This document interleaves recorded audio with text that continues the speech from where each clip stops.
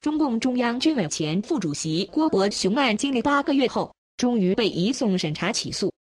消息称，郭伯雄自从徐才后被调查后，便陷入恐慌，同时在党内、军内四处活动高反侦查，并找到军委副主席范长龙进行摸底。四月五日，中共官媒通报，中共军事检察院对中央军委前副主席郭伯雄涉嫌受贿犯罪案侦查终结，移送审查起诉。通报称。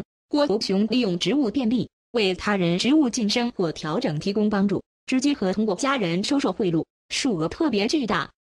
郭伯雄对涉嫌受贿犯罪事实供认不讳。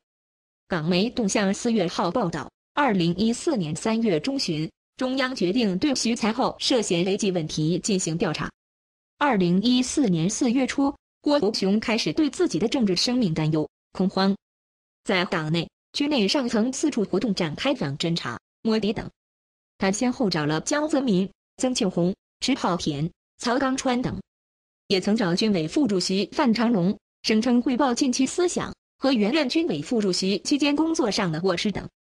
范长龙说：“如有问题要谈、要交代，要找中纪委或在组织生活会上摆出来。”报道还表示，中共十六大江泽民以军委主席身份在中央军委会议上进行分工。其称建议郭伯雄为常务副主席主持中央军委日常工作，徐才厚负责政治工作。很显然，把时任中共总书记、军委副主席胡锦涛架空。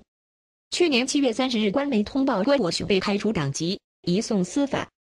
官媒通报郭伯雄落马一个小时后，大陆清洗阵营的财新传媒发表长文：郭伯雄臣服，起笔郭伯雄发迹史，称该来的总是要来。在中共军委原副主席。徐才厚落马一年后，他的同僚郭伯雄也难逃法网。